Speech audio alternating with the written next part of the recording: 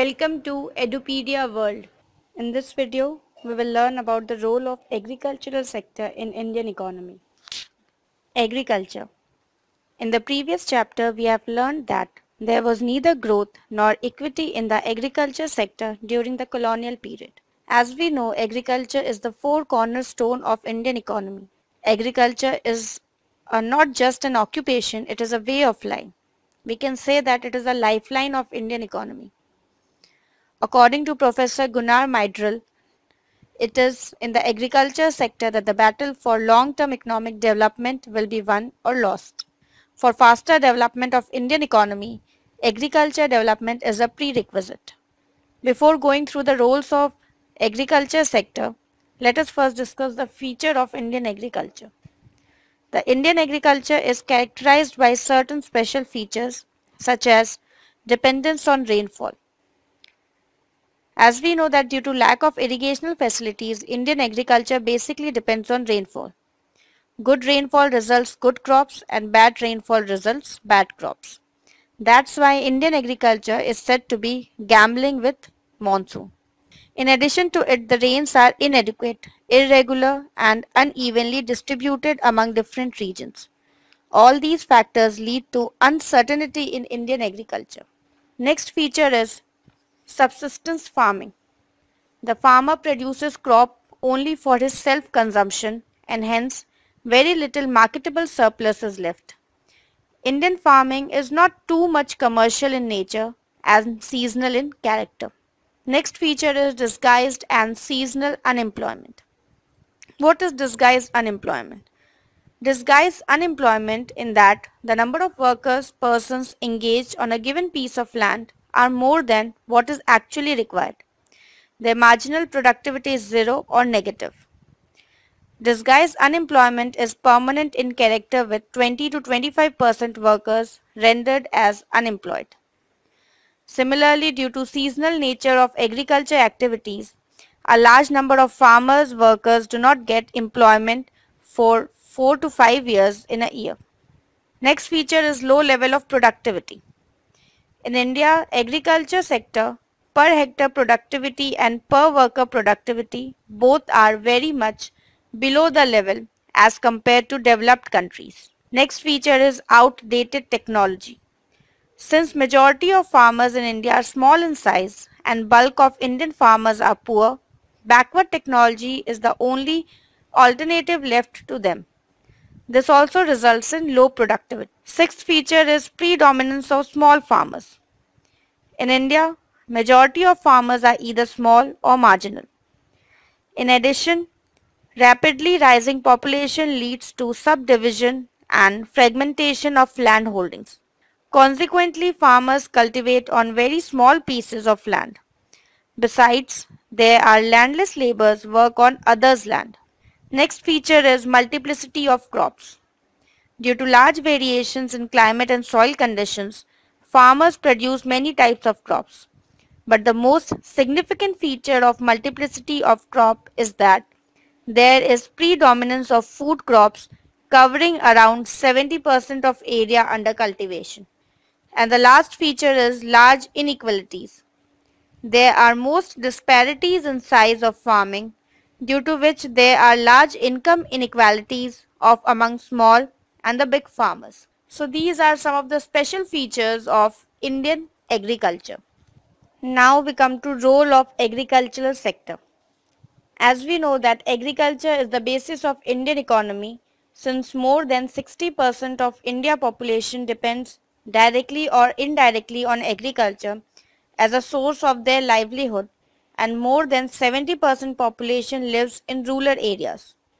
The importance and role of agriculture in Indian economy can be evaluated basically on the following considerations. First is contribution of agriculture in national income. The contribution of agriculture to India's national income has always been very significant. At present, agriculture contributes 14.5% to India's gross domestic product that is GDP. Although in 1950-51, its share was more than 50%.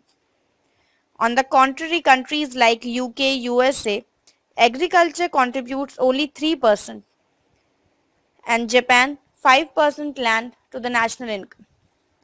We can conclude that these developed countries are less dependent on agriculture such as compared to Indian economy. Second consideration is source of livelihood. In India, over two-thirds of working population are engaged directly on agriculture and similarly depends for this livelihood. On the contrary, only 2 to 3% in UK and USA, 6% in France and 7% in Australia depends on agriculture as a source of their livelihood. We can conclude that the unemployment pattern of our country is very much common to underdeveloped countries of the world. The agriculture sector is also likely to remain the most promising and the biggest source of employment in future also. Third consideration is source of supply of wage goods. Wage goods are the necessary of life such as wheat, rice, pulses, maize, bajra and oil seeds etc. India is now nearly self-sufficient in food grains. Beside this, the fodder to 25 crore livestock is also available only from the agriculture sector. So agriculture sector fulfills the country's food and fodder requirements which are essential commodities for living. Fourth consideration is contribution to industrial development. Indian agriculture contributes to industrial development in two ways. First, by providing necessary raw materials to the industries like cotton, sugar, edible oils, plantations such as tea and rubber, and agro-based cottage industries. About 50% of income generated in the manufacturing sector comes all these agro-based industries. Second way is by purchasing the goods produced by the industries. Agriculture can provide a market for industrial products as increase in the level of agriculture income may lead to expansion of market for industrial products. Now we come to the fifth consideration that is contribution in export trade. Indian agriculture plays a vital role in the country's trade.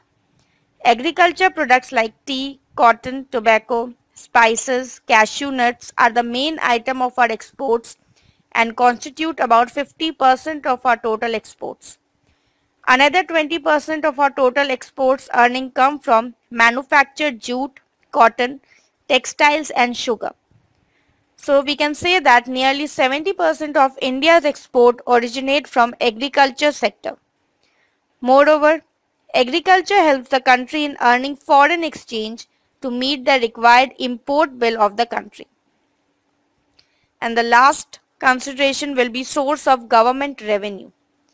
Agriculture is one of the most important source to the both central and state government of the country. The government gets significant share of income from raising land revenue. Even some other sectors like railway are getting a substantial part of their income from the movement of agriculture commodities. So these are the basic role or we can say that importance of agriculture in Indian economy. After discussing the role of agriculture sector in Indian economy, now let us consider some problems of Indian agriculture. The contribution of Indian agriculture still largely remains backward, although it is considered as the backbone of the Indian economy. Agricultural productivity, which consists of both productivity of land and labor as well, is among the lowest in the world. That's why the problems of Indian agriculture are divided into three major parts that is general problems, technological problems and institutional problems. Each of the problem we will discuss one by one. First we will discuss general problems. In that first point is socio-economic environment.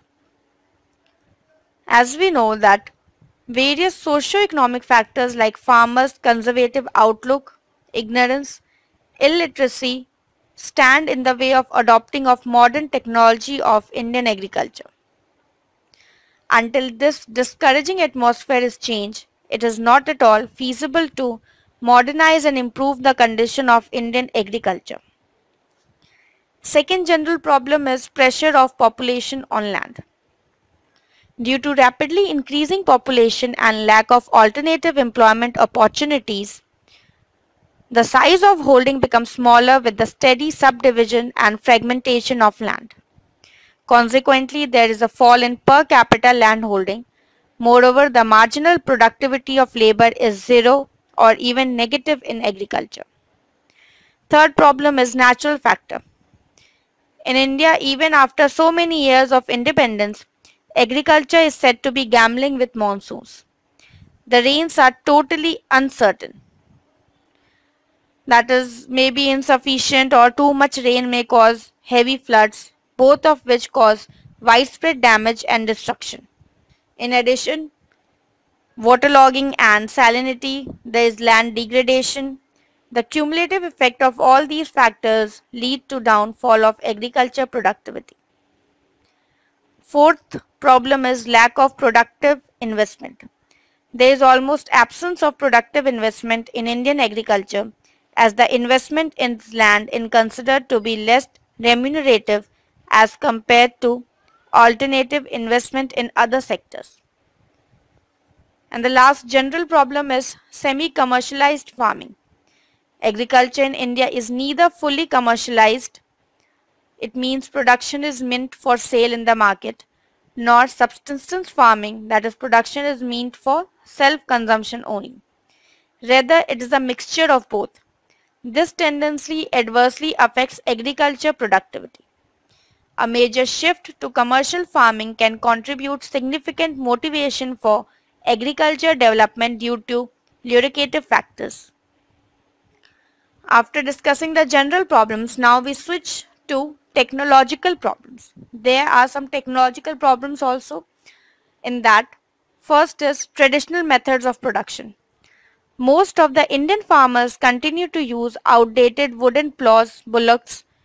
So that's why it is uh, there's very extremely limited use of new high yielding variety of seeds, pesticides and fertilizers. That's why there is a very low productivity in agriculture. Second technological problem is inadequate irrigational facilities. Stats shows that only 36% of gross cropped area has irrigational facilities. In other words, 64% area continues to depend on rains. Due to insufficient, uncertain and irregular rainfall, productivity is very low. Moreover, the area having irrigational facilities, the potential is not fully utilized because of defective management. Due to increasing cost of irrigational facilities, the small and marginal farmers are not able to make use of available irrigational facilities. Next technological problem is lack of agriculture research, storage and warehousing facilities. Agriculture research in India is very outdated in comparison to its requirement. Whatever research is being done, its results are not even made available to the farmer for its application. Thus, many chronic problems of agriculture occupation faced by the farmers still remains largely unattended. In addition, due to lack of storage and warehousing facilities, a huge portion of crop is wasted. So these are some of the technological problems of Indian agriculture. Now we come to some institutional problems. In that, first is small size of holdings. The average size of agriculture holding in India is less than 2 hectares and per capita cultivable land is just 0.26 hectares. Moreover, with such uneconomic and fragmented holding, cultivation on them can be carried out only by labor-intensive techniques. This results in low productivity. Next problem is defective pattern of land tenure. The land tenure system in India is totally defective. The cultivator has to pay high rent to the landlords and consequently small or landless cultivators are exploited. In this system, it is difficult to increase productivity only through technological means. In fact, land reforms should proceed technological changes. Next problem is lack of credit and marketing facilities. Due to lack of credit marketing facilities, the cultivators are not able to invest the required resources in agriculture. Consequently, the level of productivity on land and per capita is very low. If these facilities are provided, the level of productivity can undoubtedly be enhanced.